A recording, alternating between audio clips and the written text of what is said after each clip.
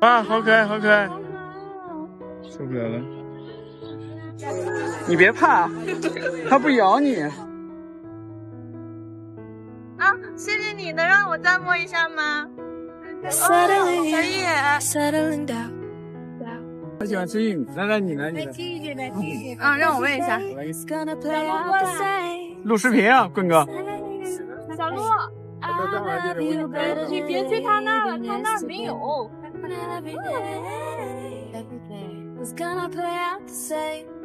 脸转过来，脸转过来。那个吃了就得摸啊，摸摸。你可以再给他喂几个，因为我看那个棍哥他们准备的玉米多，还有一个大棒子呢，是不是？小鹿今天喂它喂它。哇哦！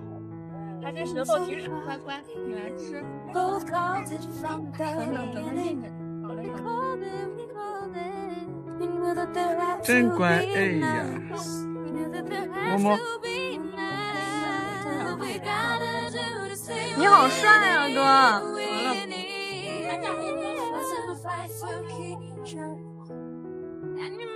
我们合个影吧。不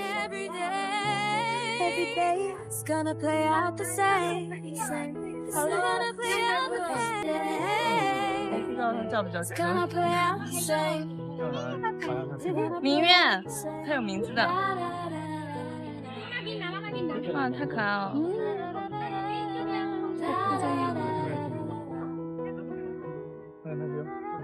猫哥，哇，好可爱，好可爱，受不了了，受不了了。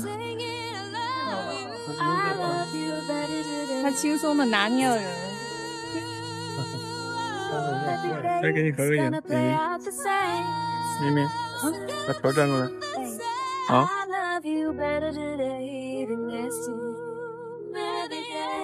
他吃的好乖啊！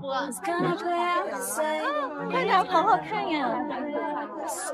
我跟他好像呀，这个。啊！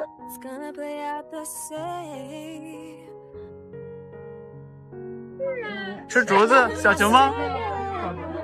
小熊猫来。小熊猫吃竹子，来来来。吃萝卜，吃萝卜闹肚子。哦，吃胡萝卜闹肚子。小熊猫。来，我们吃竹叶。你要不要？吃竹子？你看这有，我就把它把这竹叶还有一块吃完。啊。烤的竹叶。来了来了来了！哦，吃了吃了吃了。你上前面那个卖竹子问问。哦。有捡到的交纳了没准？问一下啊。在位在位。请您在互动时，有得到了吗？类似蛋时，到了。你怎么还听了吗？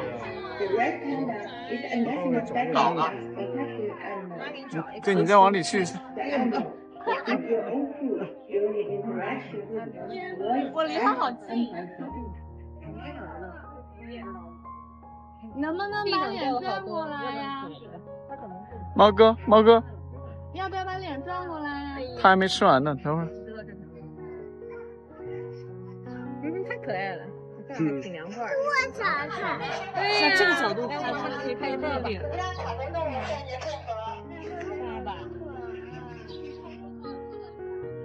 它有没有？名字？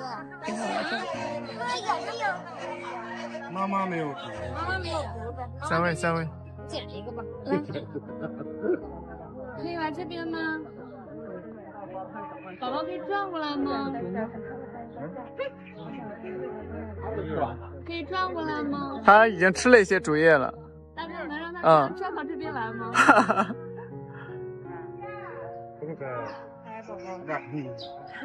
宝宝，宝宝，来了来了，宝宝转头了。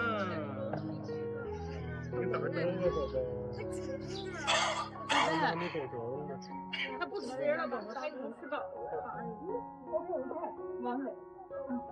我想摸摸它，来让我试。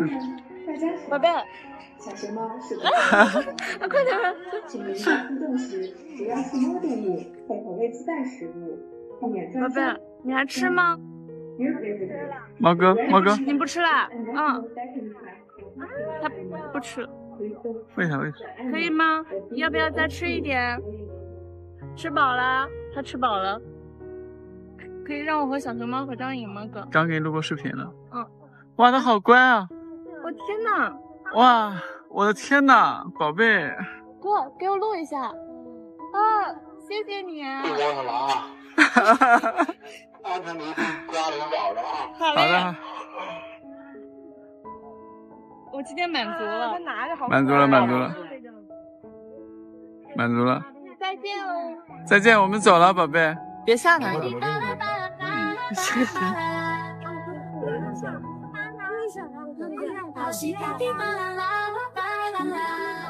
真能吃啊你！确实挺能吃的，太大只了。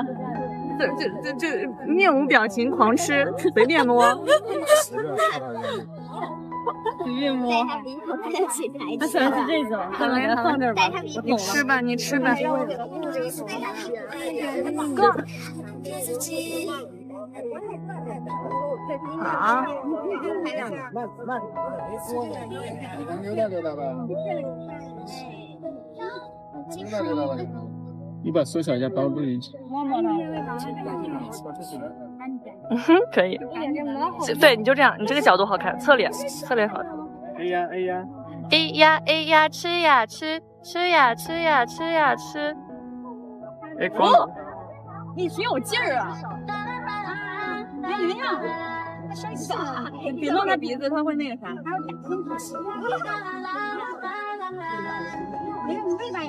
来看，那去看看别的吧，一会儿回来再接着喂。啊，谁呀？去看看某上学，然后回来接着喂好吗？好看的，好看。走吧，看看别的地方。宝贝，你今天真的吃太饱了，什么叫谁呀？嘴都没停过。是的，他一直在嚼，腮帮子都 嚼累了。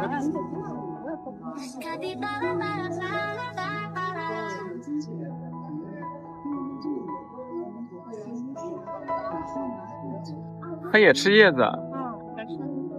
一会儿他猛上吃，然后再挑一些，然后回来，的，让他猛上吃，乖的吃。所以你在家，老板呢？它它的牙挺厉害，就是它可以连那根茎都吃了，就是里边那个。你看那个在摘叶子吃。你那个拿稳拿稳，别害怕，没事儿，拿稳。对，你稍微往外拿，让他把头伸出来。没事儿，别怕，没事儿。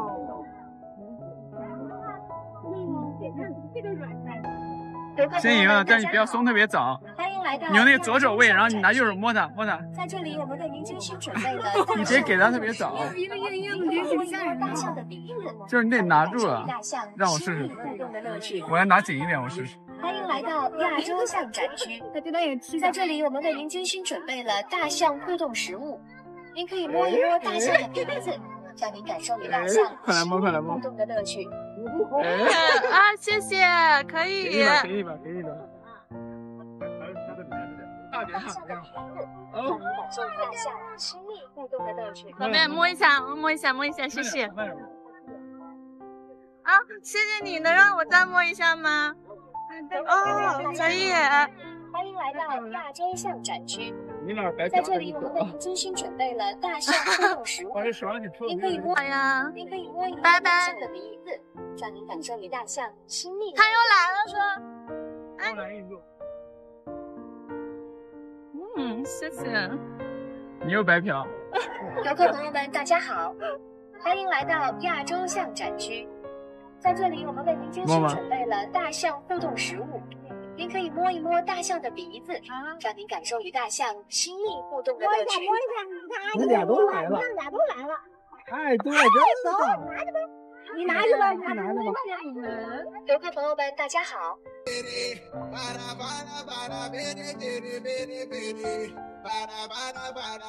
为您精心准备了动物互动食物，小朋友可以亲手为自己喜欢的小动物搭配食物，在自选食物的同时，了解动物科普知识，体验创作和亲密互动的出门右转。哥，你来 run 一 run，这个毛好好 run。拿着手机。游客朋友们，欢迎您来到哇快手超市。是羊毛。在这里，我们为您精心准备了动物互动食物，走走走。小朋友可以亲手为自己喜欢的小动物搭。请物主为自带食物，那好请为看到只有小动物用专箱养伤。再近一点。可以看一看他。不行，他胆子稍微有点小，我还离他远一点。喵喵，咱为什么拿喵喵逗老虎啊？哦，纹丝不动。大哥，大哥，你要不要站起来互动一下？你得把手多伸进去。对呀、看看你伸进去。走吧。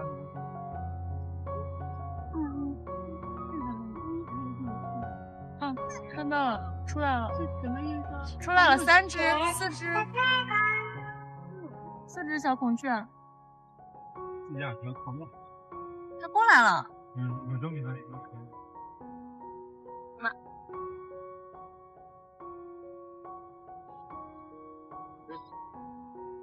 哎，他吃了，好多人给他扔。哇，他们都过来了。哇塞，他们爱吃哎。哥，你想不想扔？他们奔跑起来了。两只一起攀高在树上。这样好。给他一个特写。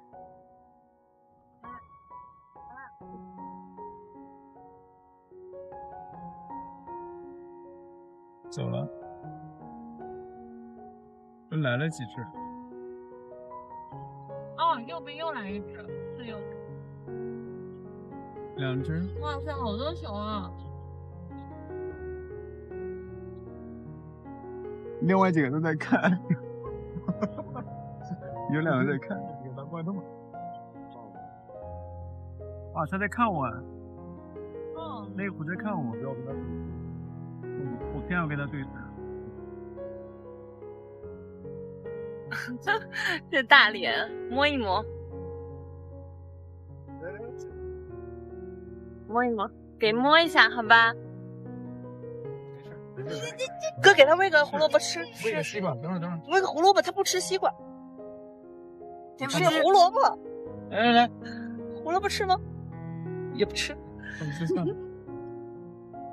我有点紧张，再拿一个。拿菜叶子胡萝卜，这个他肯定吃的。哎，马哥，马哥，有有胡萝卜吃，马哥，马哥。我帮你们这个啊啊，过来。走吧，走吧，走吧。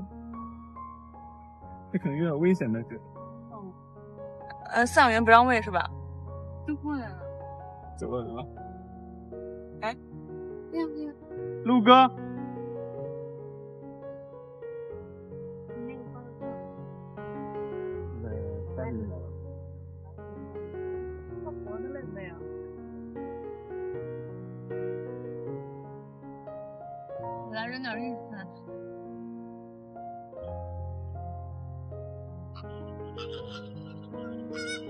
边比那边活泼很多哎。嗯。能过来吗？没人吃了不是？哎，它好可爱。来，我放这儿。我天！扔吧，扔吧。让我让人这个讲的。嘿，它这主要它这个坡它好掉，就是它就是它不会掉在半路。吃了？吃了？啊，它吃了，所以那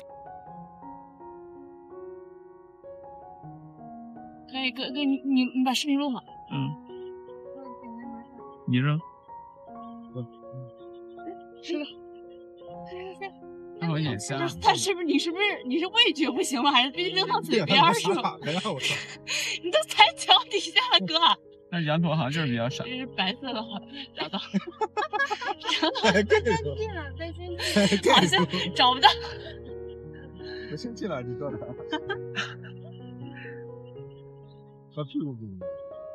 嘿。哎呦。哎呀，真远了，你找一下嘛。另外另外那个，呃，菜菜怎么这么 傻呢？这个这个的刘二怎么这么？看着像那个挺中二的。这这属于那种矮码吧。嗯。你把小码放大一点，我看他睡得挺好看的，他的头发。嗯。居住着很多的小动物。接下来的时间，让我们来看看第一种小动物在哪里呢？先从左边开始找起。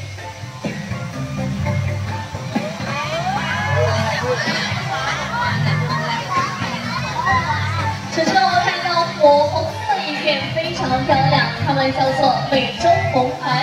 美洲红鹮是世界上最红鸟类之一，它们从头红到脚。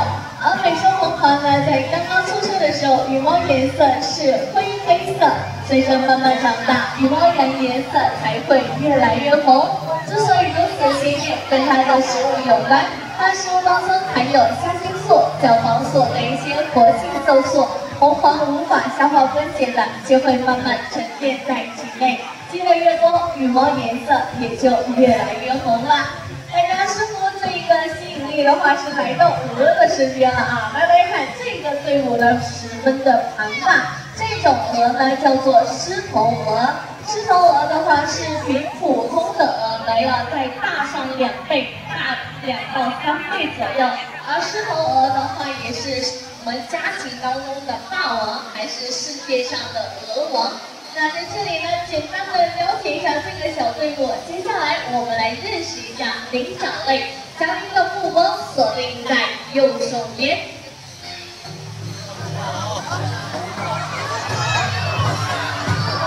两个小朋友们都说猴子来了，那眼前大家看到的黑色大部队，他们叫做黑蜘蛛猴。黑蜘蛛的手、脚、尾巴在头发上交替造型，从远处观看就像一只大大的蜘蛛正在拉丝结网，因此得名黑蜘蛛猴。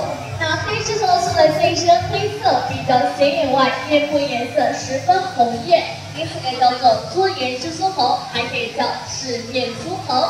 在这里啊，我们可以看到体型偏大的蜘蛛猴以外，其实还有体型偏小的。我们来找找看，能不能找到？还是能找到的啊！我们看一下正前方的方向，这些小猴子啊，正在我们的这个森林当中来回穿梭。哎，没错吧？长得也很可爱。它们的话体型比较小，但是会飞檐走壁而来。它们叫做扁顶绒猴。扁顶绒猴头顶上有一小撮白色的毛发，看起来像棉花一样，因此得名。那大家看到，它们只有巴掌大，对不对？可能大家认为这是最小的啦，并不是。它们出生的时候比现在还要小，有多小呢？大家也跟我一样，举个剪刀手看一看。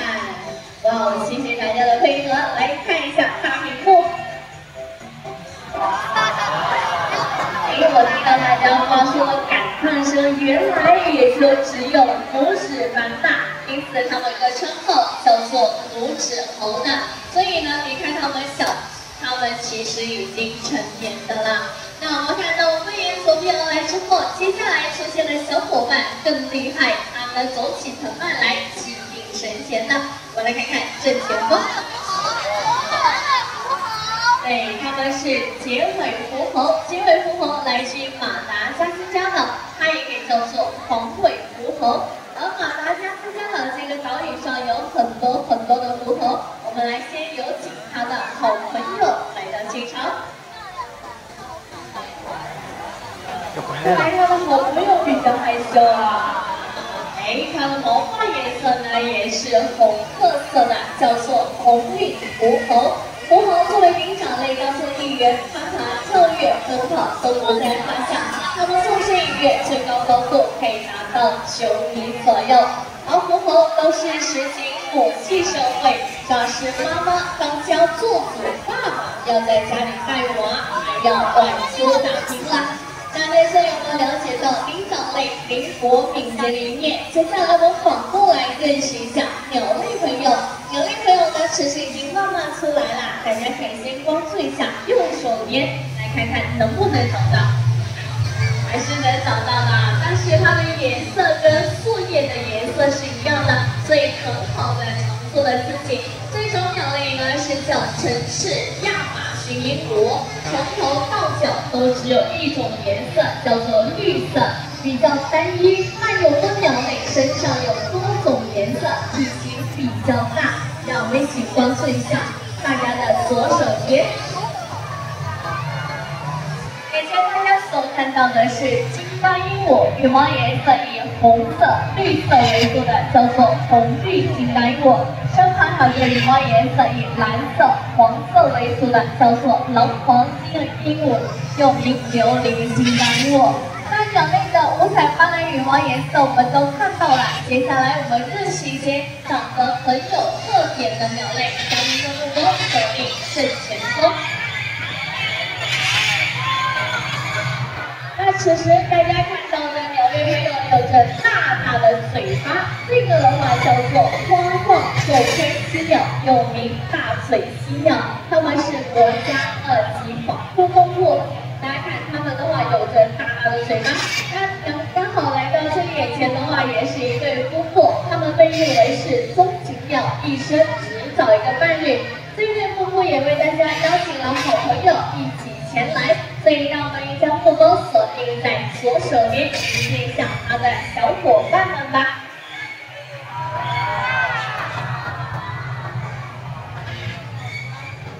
向我们一场飞翔而来的依旧是花望左盔犀鸟，看着这大大的嘴巴，大家觉得嘴巴里面有没有牙齿呢？没有，没有看来是看到他们正在享用美食了。确实没有牙齿，嘴巴里面呢是没没有牙齿，比较喜欢吃偏软一点的食物，比如说水果当中的提子就是他们的最爱。那看完了嘴巴，嘴巴下方还有个红囊，红囊颜色不太一样，有黄色也有蓝色，不同的颜色可以代表不同的性别。那在这里有一个有奖问答题，想要问一问大家。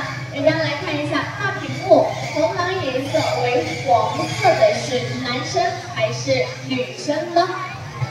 来，我们有请这边这位小朋友啊，女生，好的，很大声，女生有没有不同答案先啊？我就喜欢不同答案，来，好的，不同答案来，男生、女生究竟哪个是正确的呢？我们来辨别一下。鸟类的话，世界当中都是雄性的外貌会比较艳丽多彩，能够吸引到更多异性的注意。当然，体型偏大一点点的也是雄性，所以大家来对比一下，红囊颜色为黄色这只，明显它的色彩比较丰富多彩，而且体型稍微大一点点，所以呢它是男生。而旁边红囊为蓝色，它的这个色彩上就没有那么多姿多彩了。所以这一位她是女孩子。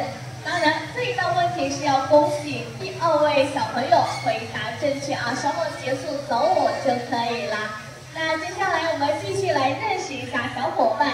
那这里的小伙伴除了他们嘴巴比较大以外，其实还有另外一种。大家看看正前方或者是偏大家左边的，也有一种嘴巴很大的鸟类，它们叫做巨嘴鸟。巨嘴鸟通常体长约六十多厘米，而它们的喙就占据了身体的三分之一。那部分游客朋友第一次看到这种鸟类嘴巴这么大，觉得比较重，其实并不会。它们嘴巴里面呈现的是海绵状，中空结构非常精巧。而鸟类当中嘴巴大的代表，远远不仅于此。接下来要跟大家见面的鸟类，它们不光嘴巴大，体型也很大。可以来搜索一下，看看在哪里，在高空中。首飞翔来的是双脚犀鸟，双脚犀鸟是国家一级保护动物，长得很帅气，头顶上有两个凸起来的角，特别像古代武士的头盔，因此得名。而它们辨别性别的方式主要是看眼睛，眼睛呈现红黑色，代表的是男生；如果眼睛呈现白黑色，代表的是女生来的。在它们飞翔的时候呢，如果大家可以静下来，会听到它们飞过的时候会产生很大的轰鸣声，那是因为翅膀通过空气的推动会产生的声音，而且它们有个外号叫做飞机鸟。那见识到了帅气的鸟类，接下来我们会认识的是漂亮的鸟类，有多漂亮呢？让我们来看看左边。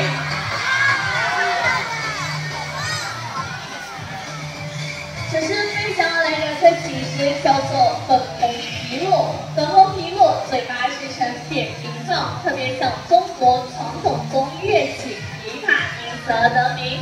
而它们的颜色主要是粉红色为主，非常少女心，因此它们有个称号叫做“鸟中仙子”。那我们看到粉红色的鸟类，接下来出现的鸟类从羽毛颜色为淡蓝色，可以看看我们的正前方有没有淡蓝色的鸟类呢？没有啊，没有。我们再来看看我们目光后面。对的，而且长得很漂亮，它们叫做南凤冠鸠。南凤冠鸠雌雄头顶上都有着上状羽冠，是它们用来求偶的工具。而通过大图片放大来看，会发现还拥有一双红色的眼睛，像红宝石一样，显得十分的雍容华贵。头顶上的羽冠可以说是它们最大的亮点。但是动物界当中，鸟类的世界当中，也并不是只有这种鸟类有羽冠。接下来出现的鸟类，它的羽冠更加的别致、帅气一些。我们可以看看正前方奔跑过来的。这种鸟类叫做黑凤冠饰，黑凤冠饰的头冠是弯曲着的，就像我们去看过的发型一样，因此而得名。那在这里我们看到了各种各样的鸟类，接下来我们来认识一些不一样的动物。比如说，想问问大家，大家心目当中有一些动物动作上很慢很慢，大家会猜到是谁吗？猜出来。那我们来看看今天能不能看到它啊？先来右手边找找，有没有？哎，还是有的啊，确实正如大家说的，树懒。出现了，动作慢悠悠的，究竟有多慢呢？给大家打个比方，就比如说一千米的距离，对于人类来说大约走十五分钟。那在场的各位，大家觉得他的一一千米走多久？二十小时还是二十天？二十小时，好的，还有吗？二十天，二十天不用啊，太久了，一天啊，一天不够，还有吗？两天，那这边呢？大家还有几天？三天、六天啊，一个星期啊，那都不够啊。那究竟多久？大家来听听我的答案。他的一千米要走十五天。啊，也是很慢很慢了，是不是？那有没有提速的是这个速度？比如说刚刚从家中出发来到这里的速度，算是它已经开了疾跑的速度。哎，看起来慢，实际连用跑的啊。那有还有没有呢？其实下班的时候回家的路上也很快啊。那在这里的话，简单也了解到了树懒的一个速度问题。接下来我们来认识一些不一样的小动物，有多不一样呢？最喜欢的食物呢是蚂蚁。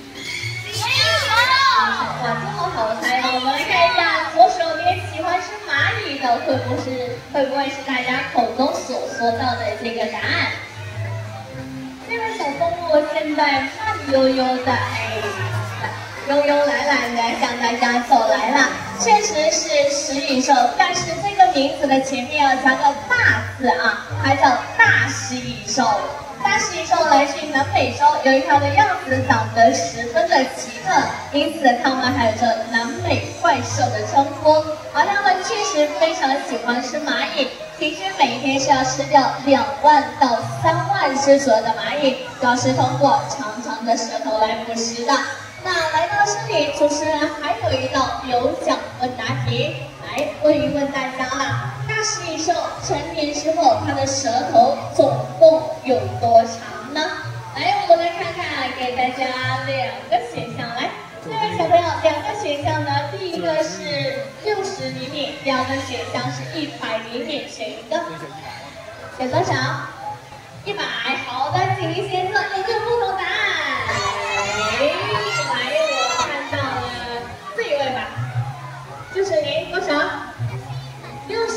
好，六十跟一百哪个正确呢？请看大屏幕。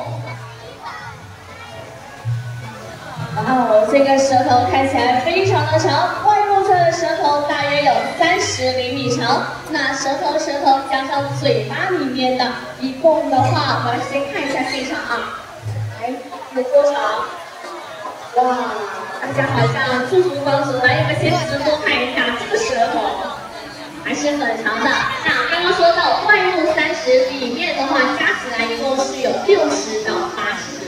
所以的话是第二位回答正确，稍后结束找主持人就可以了。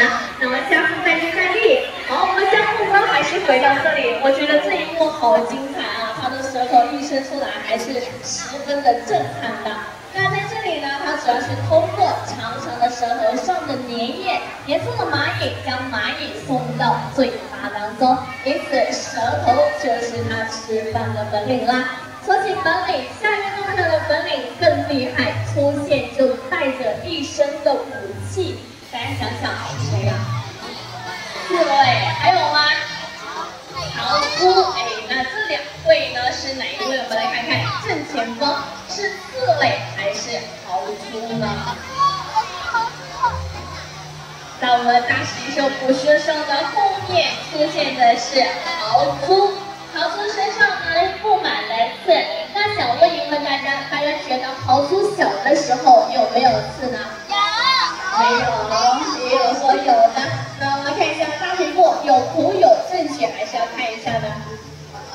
对，它们身它们小的时候身上有刺，不过它的刺呢会比较柔软，等到十天之后，它的刺才会慢慢变坚硬，这时候呢才可以拿来当做防御或者是攻击的武器。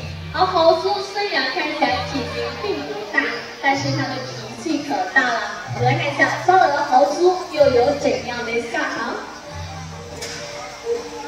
哇，哇这一张出来呢，倒吸一口凉气啊，会被扎得面目全非。所以在日常生活当中，可不要轻而易举的去挑衅豪猪哦。豪猪虽然脾气比较火爆，但是恰恰有一个性格很温和的好朋友。我们来把他的好朋友也认识一下，将目光看看左手边的方向。这位小动物呢，在动物界当中有着好脾气的代表。小朋友们是不是很激动啊？来，我们先稍等一下，看看他们游过来的时候，眼前大家所看到的是水豚。那为什么小朋友们会大声的喊呢？其实因为水豚现在在网络上很火，叫做卡皮巴拉，是一种很可爱的小动物。那大家坐好在座位上的时候，它会来到上面跟大家见面的。水豚的话是最大的啮齿类动物，虽然看起来这两位比较小，实际是因为还没有长大，长大之后的样子就如图片当中一样，还略微带一点点凶啊，当然并不会，还是很温和的。而它呢是一位游泳高手，在遇到危险的时候呢，会扑通一声跃入到水中，以此来避险。那说起游泳高手，还是有代表的。比如说，我们接下来出现的小动物，它长得像老鼠，却又不是老鼠，它是谁呢？还是河狸啊！我们来看一下我们的左边方向。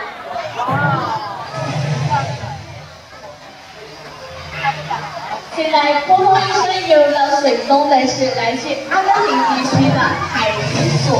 海鱼所善于游泳，在水中游泳时会将鼻子、耳朵交干净，以免水流流到鼻腔、耳朵当中。当然海铃薯现在慢慢往前方游了大家可以稍后呢关注一下它海铃薯非常的有趣尤其是它的牙齿牙齿方面呢跟人类不太一样大家可以关注一下大屏幕先看看它的牙齿颜色。它的牙齿颜色的话是橘红色的因为含有铁元素的原因所以小的时候是白色的慢慢长大就会变成橘红色了。那今天我们可以看到，他们已经来到现场，我们也跟他们见到面，见到了很多有趣的小动物。接下来的时间，也让我们有请空中飞行家族。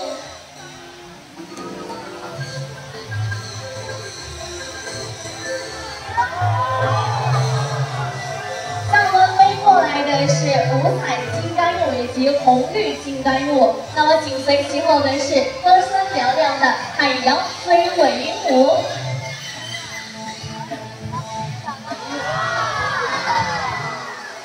他们到来，现在场的各位朋友，今后生活当中过得像他们的羽毛颜色般多姿多彩、幸福美满。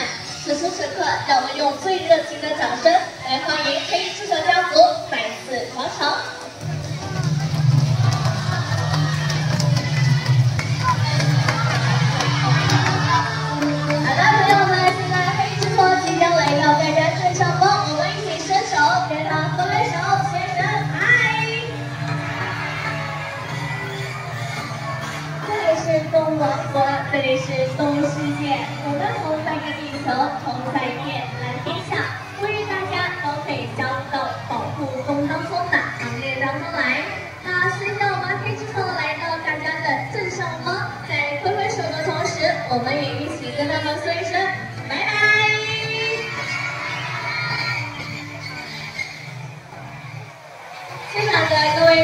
小朋友，伴随着黑金和家族的到来，本场的美探秘到此结束。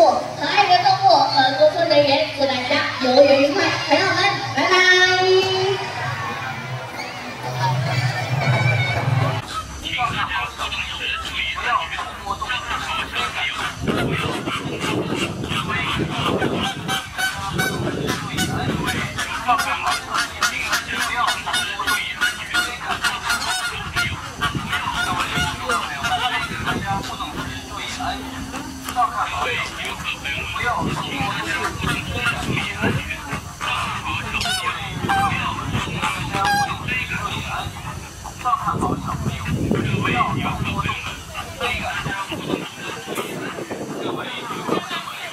家不仅是注意安全，照看好小朋友，不要触摸动物、追赶动物。各位游客朋友们，请大家互动时注意安全，照看好小朋友，不要触摸动物、追赶动物。追赶动物。各位游客朋友们，请大家互动时注意安全，照看好小朋友，不要触摸动物、追赶动物。各位游客朋友们，请大家请注意安全，照看好小朋友，不要触摸动物、追赶动物。各位游客朋友们，请大家互动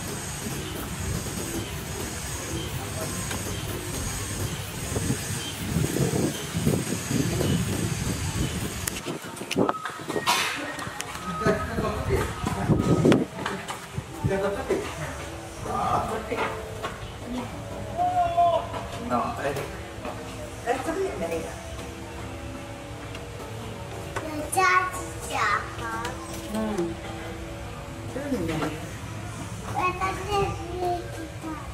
里。没有的，这里没有的，这里他他他他他看了，他到房间里面去了。